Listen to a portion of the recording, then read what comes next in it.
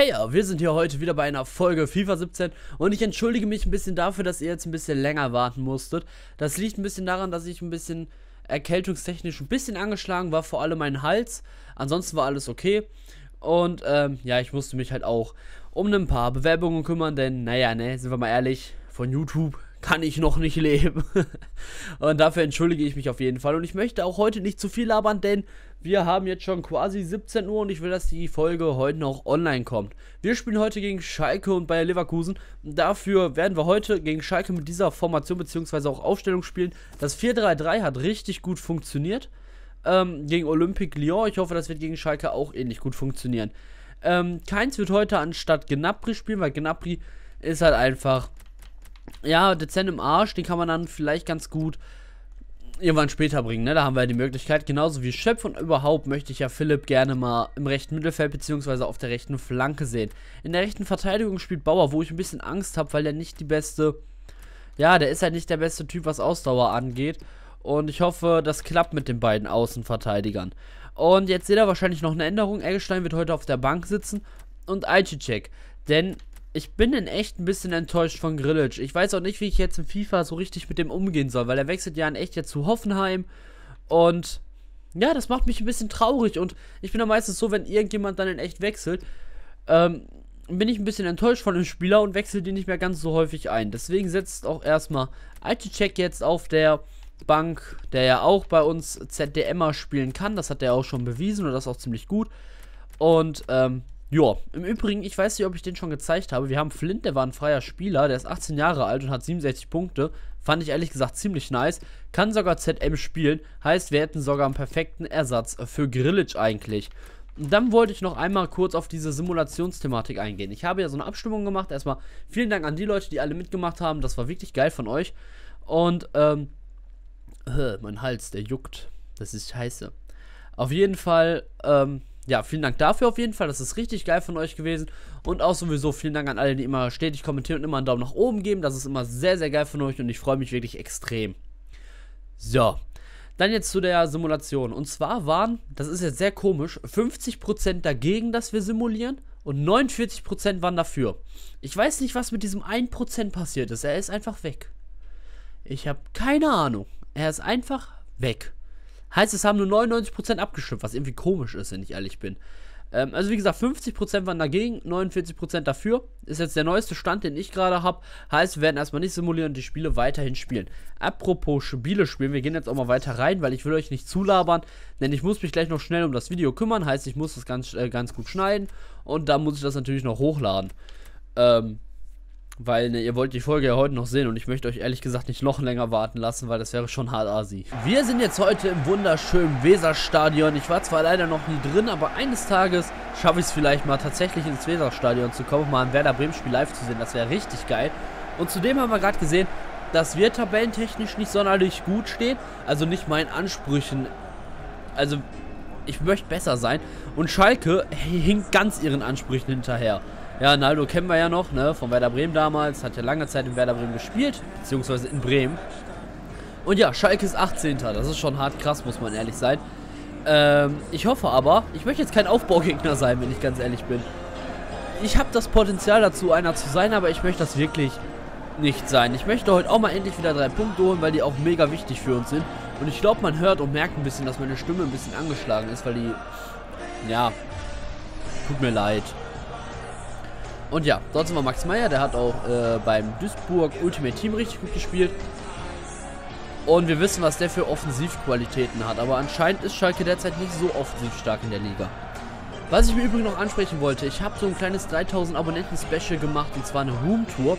Mich würde das mega freuen, wenn ihr euch die mal anschauen würdet, weil ähm, gibt natürlich ein paar Einblicke zu mir persönlich und so. Und ähm, ja, ist glaube ich ganz cool geworden. Klar, habe ich noch nicht so häufig gemacht sowas.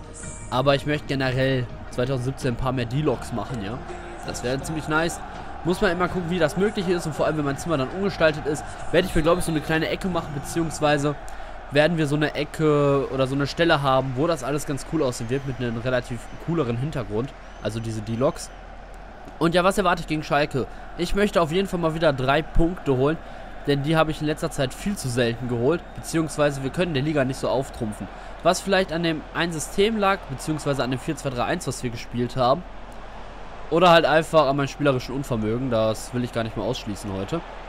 Äh, beziehungsweise, ja, will ich halt nicht ausschließen. Kann ja mal sein, dass ich einfach schlechte Tage hatte und dann solche Pässe wie jetzt spiele. Und jetzt Taylor, der hat dann... Oh, Alter. Okay. Oh nö, Taylor, bitte steh auf. Das wäre echt scheiße. Bauer auf André Hahn. Man sieht da Taylor, der verletzte Taylor macht das gut. Boah, starke Parade von... Äh, wer steht denn am Tor? Wir sind jetzt in der Halbzeit und es steht immer noch 0 zu 0 und es ist einfach nicht viel passiert, wenn man mal ganz ehrlich ist. Wir hatten eine richtig, richtig gute Chance durch Taylor, der aber leider ein bisschen angeschlagen ist, was ja ein bisschen kacke für uns ist. Ähm, ich hoffe, der kriegt sich gleich ein bisschen ein, sonst werden wir den auf jeden Fall auswechseln müssen. Ähm, was man sagen muss, Schalke ist relativ offensiv schwach. Wir kriegen das spielerisch eigentlich alles ganz gut hin, aber die letzte Entschlossenheit fehlt. Aber das ist auf jeden Fall an für sich noch machbar. Und natürlich glaube ich an uns, weil alles andere wäre irgendwie scheiße, wenn der eigene Trainer sagen würde, nee, schaffen wir nicht. Ähm, was man sagen muss, André Hahn macht das wieder super. Also der ist echt ein guter Stoßstürmer, muss ich gestehen. Mir hat einer in die Kommentare geschrieben, dass irgendwie André Hahn bei ihm, ich weiß nicht, in drei oder vier Saisons 120 Tore gemacht hat. Gut, das ist viel. Das wird bei uns jetzt nicht passieren. Glaube ich. Wenn doch, wäre ziemlich krass. Aber er macht es bis jetzt auf jeden Fall echt super. Und ich hoffe, da passiert noch was vorm Tor der Schalker. Pomoting wird ja verfolgt von Klostermann. Er kriegt den Ball nicht. Schupomoting, gute Chance für Schalke. Die beste Chance im Spiel bis jetzt für die. Keins kriegt den Ball zu André Hahn. André Oha, Alter, mit wie viel Power der dahinter geschossen hat. Äh, leider nicht aufs Tor, sondern irgendwie daneben. Ich weiß nicht, ob ich den hätte vielleicht in die Mitte legen sollen. Aber ich wollte es halt mit André Hahn machen. Auf jeden Fall ist der geil in die Schnittstelle gelaufen. Wir werden jetzt zweimal wechseln und zwar muss der leider verletzte Taylor runter. Ähm, ich schätze mal, der wird dann für drei Wochen ausfallen, ist ja meistens so. Und Keins verlässt auch den Platz und für Keins kommt äh, Serge Gnabry, meine Fresse, ey, voll der Kopf leck. Und für Taylor kommt im ZOM jetzt äh, Alessandro Schöpf, der Ex-Schalker, rein. Ich hoffe, ach, der wird das schon machen. Und jetzt Toljan. Komm schon, Delaney. Boah, der macht das Tor. Ey, Delaney war so ein guter Transfer, ne? Ich hoffe, der schlägt den echt nur halb so gut ein wie bei uns. Ey, der macht richtig gute Zweikämpfe, der verteilt den Ball gut. Der rennt halt extrem viel, weil er 90 Ausdauer hat. Das ist einfach stark und nice. Knapp mit der Vorlage. Also der Junge geht ab wie Schmitzkatze. Ich weiß auch nicht. Ablöserfreier Transfer und der macht das mega gut. Also wenn der echt nur halb so gut ist wie hier in FIFA, ne? Dann hat Werder Bremen da einen Königstransfer gebracht. Richtig guter Typ, ey. Wir wechseln nochmal aus und zwar ist Jeremy Toljan total im Eimer, eigentlich genau wie Bauer. Aber wir haben jetzt Sebastian Schmitz, der normalerweise linkes Mittelfeld spielt. Der kommt jetzt in die linke Verteidigung. Ich habe mich jetzt für Toljan entschieden, weil wir halt mit Schmitz einen haben, der das eigentlich immer ganz gut gemacht hat auf der linken Verteidigung. So, Junior Gaisara. Oh, Ronaldo. Boah, zum Glück köpft der so komisch. Guter Konter. Richtig guter Konter. Die Frage ist, wo mit dem Ball ich schieße. Habe ich so feste gedrückt? Ich glaube nicht. WTF? So, gefährlicher Freistoß und Benedikt Hövedes führt den aus. Ob die keinen besseren Freistoßschützen haben, obwohl er macht das gar nicht so kacke. Demnächst halte ich länger den Mund. Max Meyer macht das hier gut. Komm schon. Und der schießt und der... Was? Was? Alter. Das war mit Abstand. Äh, was? Alter, WTF, ey, natürlich. Nicht schon wieder so ein verdammt unglückliches 1 zu 1. Ey, das stinkt mir mittlerweile aus. Boah, Alter, das zackt so hart, ne? Boah. Ey, schon wieder einfach so ein unglückliches 1 zu 1. Weil die Schalke am Ende irgendwie nochmal eine Chance bekommen. Und Max Meyer da ein Traumding macht. Okay, ist vielleicht, ne, wenn man die Chancen sieht, ausgeglichen. Aber wenn man die Spielanteile, ihr seht ja nie das komplette Spiel, dann ist das sowas von unverdient einfach nur, ne? Boah, ist das nervig. Das ist echt, echt gemein. Boah. Im Übrigen wird wahrscheinlich, also ich habe mich glaube ich dazu entschieden, den Lamine Sané im nächsten Spiel nochmal neben Klostermann spielen zu lassen, weil der Lamine Sané hat neben Klostermann ein richtig gutes Spiel gemacht. Dann wird Per Mertesacker halt nochmal ein Spiel auf der Bank sitzen müssen. Ein bisschen ärgerlich für den Jungen, aber was soll ich machen? Wir werden mal ein bisschen vorspulen. Wir werden mal ganz kurz auf die. Ja, das mache ich später. Ah, mein Nase juckt gerade so. Äh, Spieler verletzt. Oh. Taylor sechs Tage. Toljan hat zu viele gelbe Karten. Ach so, oh. Ja, Dropney ist unzufrieden. Was erwartet der denn auch? Schau mal eben, sechs Spieltage sind gespielt. Wir befinden uns auf dem neunten Platz. Schalke, ja, hat der Punkt jetzt auch nicht viel gebracht. Immer noch letzter. Und jetzt gegen Leverkusen, die auf dem 16. sind. Was ist denn das für eine Tabelle? Leverkusen 16. Borussia Mönchengladbach 17. Schalke 18. WTF? Was ist das? Das ist echt strange. Ich würde auf jeden Fall mal sagen, ne? Wir sind uns gleich in der Partie gegen Bayer Leverkusen. Ich hoffe, alle Spiele sind dann wieder fit. Alle Spieler. Wir sind jetzt hier in der Bayer Arena. Und ich musste natürlich Toljan rausnehmen, weil der rot gesperrt ist. Für ihn spielt Sebastian Schmitz in der linken Verteidigung. Gnabry ist wieder in die Stammelf rotiert. Und Taylor ist fit genug, kann also spielen, was sehr nice für uns ist.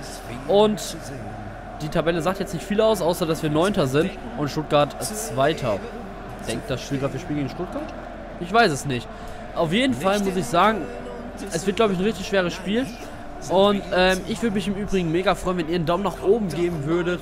Und ja, natürlich immer schön kommentiert, denn ihr wisst, ich lese immer die Kommentare und ich freue mich auch immer extrem. Also auf jeden Fall mal, auf jeden Fall wieder kommentieren, das wäre mega schön von euch. Und wie gesagt, einen Daumen nach oben da lassen, ne? Und wir können sehen, Papadopoulos spielt hier Stamm und die haben, ah, wie hieß er denn, Ramalho noch, der mittlerweile, glaube ich, im Mainz spielt, wenn ich mich jetzt nicht komplett irre. Und ein Stürmer, den ich sehr, sehr mag mit ähm, Kevin Volland. Ich mag Kevin Volland echt sehr gerne. So, letztes Spiel haben wir jetzt ja wieder ziemlich unnötig nur unentschieden gespielt, wenn man mal ehrlich ist. Das ist echt kacke gewesen. Am Ende einfach noch so ein 1 zu 1 zu kassieren tut weh. Hat gegen Stuttgart auch schon richtig weh getan. Jetzt schon wieder so ein Sieg hergeschenkt.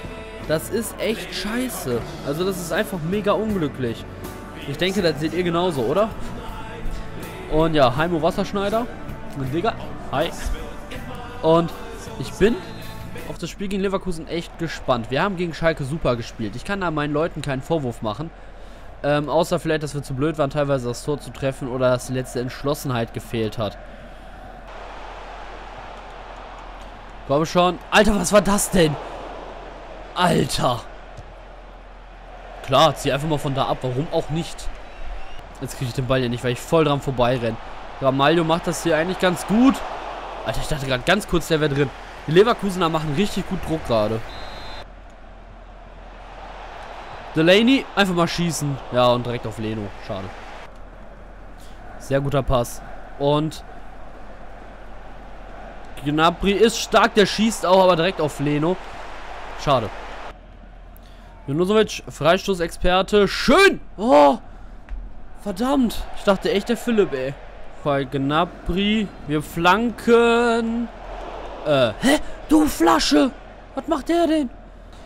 Jo, Halbzeit. Es steht 0 zu 0 und ich habe irgendwie das Gefühl, über diese Pause, die jetzt unsere Spieler hatten, dass die ein paar Pfunde zugelegt haben. Denn irgendwie bewegen die sich nicht mehr so geschmeidig.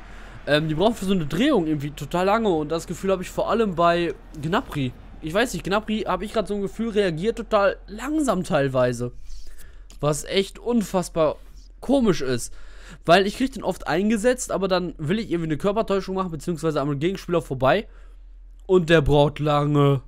Das ist ganz komisch. Also die sollten mal wieder ein bisschen abnehmen, die Leute. Und jetzt Philipp. Philipp. Boah, der macht das super. Das war ein richtig guter Angriff und richtig gut gemacht von Sebastian Schmitz, muss man... Äh, das sah unheimlich aus. Ich meine, der Pass von André Hahn dahin war auch super, aber Schmitz hat den Ball super behauptet. Den Angriff haben wir auch richtig gut ausgeführt und Philipp weiß, wo das Tor steht, hat er vor allem letzte Saison bewiesen und er macht auch einen richtig guten Job auf der rechten Flanke. Und es ist geil, dass die zweite Hälfte direkt so beginnt. Ähm, das tut richtig gut. Aber jetzt müssen wir auch mal lernen, das Ergebnis zu halten und jetzt nicht wieder ein Gegentor zu bekommen. Auf Gnabry, der schießt einfach mal, aber direkt auf Leno. Ich habe da keine andere Möglichkeit leider gesehen. Au. Das tut weh. Wir wechseln im Übrigen zweimal aus. Und zwar muss Delaney das Spielfeld verlassen. Der ist leider ein bisschen verletzt, und zwar am Arm. Dafür kommt Aichicek rein. Aichicek ist dann so der äh, offensive Z-Emmer und Junusovic übernimmt den etwas defensiveren Part. Und Florian Kainz kommt für den doch schon sehr erschöpften Gnabry rein, was mich ein bisschen wundert. Alter. Komm schon, Philipp. Oh mein Gott, war das eine krasse Chance. Oh mein Gott. Guter Pass auf Taylor. Taylor läuft alleine aufs Tor zu, passt drüber, Ka Nicht mal rüberlegen kann ich, ey. Das war auch so ehrlich gesagt nicht geplant. Ich habe eigentlich eher damit gerechnet, dass eventuell Hahn den Ball nimmt. Alter, wo schießt der noch hin? Und wir gewinnen mit 1 zu 0. Also ich muss irgendwie mal lernen, die Chancen besser zu nutzen. Das kann nicht sein, ey. Ich bin irgendwie mittlerweile nicht in der Lage, zumindest jetzt in den beiden Spielen gegen Olympique Lyon hat es ja geklappt, das 2 zu 0 zu schießen. Ich kriege jetzt nicht gebacken. Das ist echt unmöglich fast für mich. André Hahn hat wieder eine richtig gute Partie gemacht im Sturmzentrum. Man muss auch sagen, Aiticek ist auch so einer, der sich wirklich lohnt einzuwechseln, weil der macht echt Druck von der Position, wenn der spielt. Und das ist halt richtig nice. Boah, mein Hals stirbt langsam ab. Aber im Übrigen, überhaupt, die ganze Offensive hat heute gut funktioniert. Gnabry war, also wie gesagt, die Spieler wirken manchmal ziemlich behäbig und ein bisschen komisch, bin ich ganz ehrlich. Vor allem Gnabry hat mir aber trotzdem ganz gut gefallen. Philipp hat heute das Tor gemacht, hätte noch eins machen können. Äh, ja, wir hätten heute so viele noch mehr machen können, was Tore angeht. Man sieht's, neun Schüsse, davon vier nur aufs Tor. Und wir hatten halt teilweise echt gute Schusspositionen, wo die Spieler dann irgendwie drüber geballert haben, was schon irgendwie strange war auf jeden Fall. Eggestein hat jetzt am Ende jetzt nicht mehr so viel gebracht, sind wir mal ganz ehrlich. Aber naja, trotzdem hat er sich gelohnt einzuwechseln. Wahrscheinlich mehr als Pizarro oder Wagner, weil der halt einfach mega Potenzial hat. Was? Wie Spekulation um Junusovic. Stefaniak möchte ausgeliehen werden, das könnte man, da könnte man mal drüber reden, aber ganz im Ernst, was ist hier mit Junusovic? Äh. Äh, ich will, also Junusovic möchte ich echt nicht loswerden. Und ja, Taylor ist gerade nicht in der Lage, irgendwelche Tore zu schießen. Den kriegen wir aber auch irgendwie nicht mehr. Der macht immer gute Spiele, aber ich kriege den jetzt nicht so aufs Tor, wie halt sonst oft, muss ich mal ganz ehrlich gestehen. Äh, deswegen ist er auch verunsichert und hat ja nur einen Wert von 44 Millionen. Kann man ja mal machen, auf jeden Fall. Also ich muss echt sagen, Philipp spielt klasse, genauso eigentlich wie André Hahn. Also wir scheinen unsere Offensive da vorne auf jeden Fall gefunden zu haben. Jetzt vielleicht noch Gnabry, der nicht ganz so behäbig wirkt und dann wird alles super. Also die Mannschaft ist echt gut. Wir schauen uns mal ganz kurz auf die, äh, jetzt muss ich hier drauf gehen, auf die, wie heißt denn das? Auf die Bundesliga, wie die Tabelle jetzt aussieht, nachdem wir drei Punkte mal wieder gefarmt haben. Wir sind siebter. Das ist okay mit zehn Punkten, aber da ist auf jeden Fall noch Potenzial nach oben. Äh, sagen wir mal, ja, Euroleague-Plätze sind wir halt direkt dran. Das ist ja unser Ziel in dieser Saison eigentlich. Und jetzt ist im Übrigen bei Leverkusen 18. und Gladbach 17. Schalke konnte sich anhand eines Sieges einfach mal auf den 13. Platz katapultieren. Ja, okay. So, aber sind wir mal ehrlich, Schalke, Borussia Mönchen, Gladbach und Leverkusen gehören da unten auch nicht wirklich hin. Muss man halt mal wirklich sagen. Ähm, auf jeden Fall war es das jetzt mit der Folge. Ich werde die jetzt so schnell wie möglich bearbeiten und dann auch hochhauen. Falls euch die Folge gefallen hat, bitte auf jeden Fall liken. Es wäre wieder mega geil, wenn wir wieder über die 100 plus schaffen würden, weil in der letzten Folge hatten wir so um die 140. Das ist einfach grandios. Das ist einfach geil. Das ist halt ein richtig gutes Gefühl. Und wie gesagt, auf jeden Fall mal in die Room-Tour reinschauen und auf jeden Fall liken, wenn euch diese Folge gefallen hat. Das wäre, äh, Quatsch, kommentieren. Das wäre auch, das wäre richtig schön. Da würde ich mich auch mega freuen, denn ihr wisst, ich antworte eigentlich immer wenn es Sinn ergibt. Und das wäre einfach mega cool von euch. Ich bedanke mich recht herzlich fürs Zuschauen. Ciao.